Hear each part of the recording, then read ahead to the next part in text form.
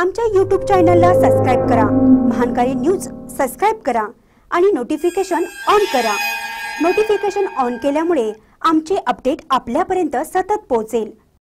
अनंतकुमार हेगडे वक्तव्य व दलित मुलीवर झालेल्या अत्याचार विरोधात राज्य दलित समितीचे गोकाकमध्ये आंदोलन.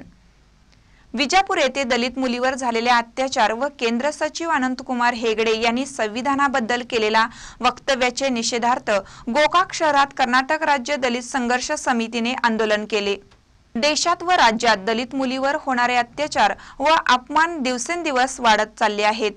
कायदा सुव्यवस्थेकडे सरकारने गांभीर्याने लक्ष देण्याची गरज असून याकडे केंद्र व राज्य सरकार दुर्लक्ष करत असल्याचा आरोप दलित संघटनेचे तालुका अध्यक्ष लक्ष्मण तेळगडे यांनी केला. निपाणी बसवेश्वर चौकात टायरी जाळून मानवी साखळीद्वारे विजापूर येथील दलित मुलीवर अत्याचार करून खून केलेल्या नराधामांना फासावर लटकवण्याची मागणी व अनंतकुमार हेगडे यांना मोदी मंत्रिमंडळमधून हकालपट्टी करण्यात यावी अशी मागणी दलित समाजाकडून करण्यात आली.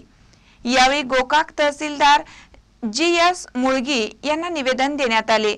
सुरेश सनकी मयूर घटप्रभा निगम्मा दरमटी तसेच दलित समाजाचे शेकडो कार्यकर्ते उपस्थित होते. महानकारी न्यूजसाठी कृष्णा आर्गे.